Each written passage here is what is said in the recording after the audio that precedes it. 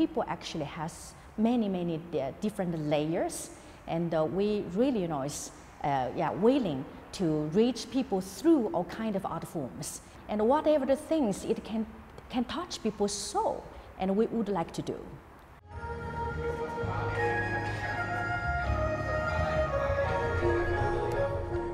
Kultursenteret TCG Nordica ligger i storbyen Kunming. De har lokaler i et av byens kjøpesentre, i en bydel som er under utvikling, fordi de ønsker å være der folk er.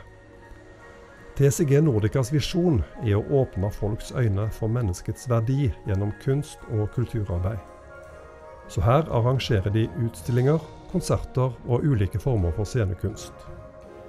Senteret inviterer også til foredrag og samtaler om temaer som knytter seg til utstillingene. Det er også et viktig møtested for kinesiske og skandinaviske kunstnere. I felt this is a space that you can, as an artist, you can express your feeling or anything that you want to tell the people who comes here in different ways.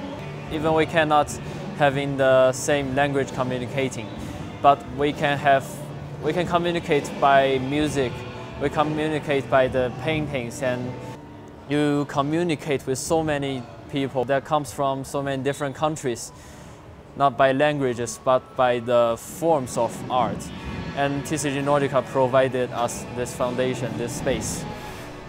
Areopagos har støtta og samarbeida med TCG Nordica siden oppstarten i 2000.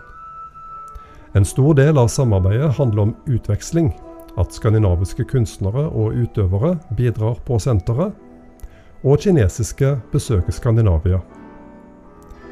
Og ikke minst sender Areopagos både seniorvolontører og unge volontører til senteret. DCG Nordica er en unik kulturarena der mennesker får oppdage nye ting. Arbeidet har ringvirkninger langt utover scene- og utstillingslokalene. We want to the world